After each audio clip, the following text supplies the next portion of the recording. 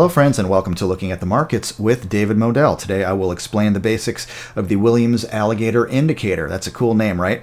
And before I get into it, just want to let you know if you need more help with trading or investing, or if you want to get some help putting together your own trading or investing plan because you really need to have a plan, otherwise, you don't know what you're doing, uh, you can uh, contact me for coaching by email at davidmoadel at gmail.com. And also below this video, uh, I'm going to put some free financial reports. And I co authored them, the reports, and uh, you can download one or as many as you like. All right, so let's uh, move on over to the Bill Williams alligator indicator invented by Bill Williams, and I'm on tradingview.com. And if you want to know how to get that uh, indicator on TradingView, at least, you go to uh, indicators and strategies. Don't look, look under A for alligator. No, no, no. you look for W for Williams alligator. Okay. Uh, and then the default settings are the 5, the 8, and the 13, all right, uh, which is the, the lips, the teeth, and the jaw. Those are the colorful names uh, that Bill Williams gave to it, but it, you know you can call it the lips, teeth, and jaw. That's fine. Uh, if it helps you to remember it, I just think of it as the 5, 8, and 13 period moving averages, because that's all it really is. They're just you know giving it interesting names.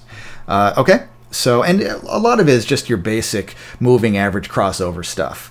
Uh, you know how with moving average crossovers, you enter when the faster moving average crosses above the slower ones, and then you exit uh, when the faster moving average uh, crosses below the other two. You know, that, that's pretty normal stuff. This one is the same thing. It, it has some interesting, cute names, and uh, yeah, well, I don't know. Let's see if this is something that you might be interested in. All right. Uh, and by the way, you can change the standard settings 5, 8, and 13 for the lips, teeth, and jaw if you want to. You, you can totally adjust these things, at least on TradingView. All right, so supposedly the alligator is sleeping when all three of these, you know, the lips, teeth, and jaw, when they're all close to each other, when there's not much space between them, and you don't probably want to take a long or short position, according to the Bill Williams alligator indicator system. All right, so that's when the alligator is sleeping when all three lines are close to each other.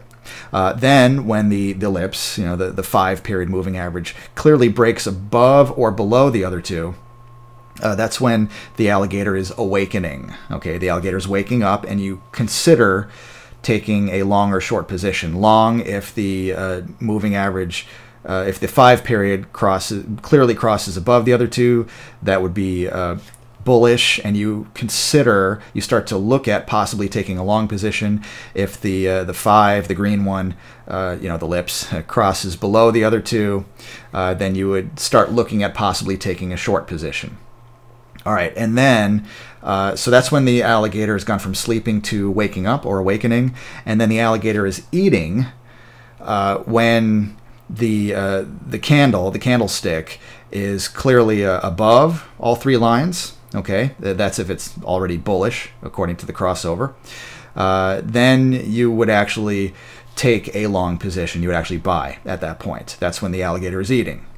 Okay, or it, if the break was below, if it was bearish, then uh, the alligator is eating bearishly uh, when the uh, candle next candlestick closes clearly below all three lines. That's after the uh, the crossover to the downside.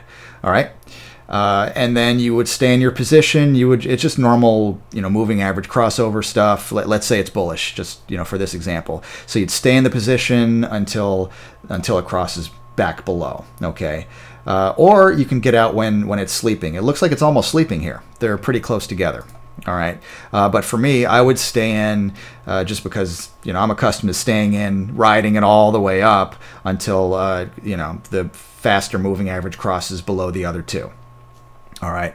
Uh, so, you know, that's pretty much it. Uh, it. It's kind of an interesting concept. You know, the idea of sleeping helps you to stay out when there's not much movement because, yeah, it's hard to trade, uh, you know, sideways, choppy markets. It's easier to trade trending markets.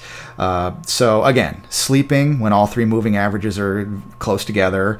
Uh, the alligator is awakening when the green, you know, the lips.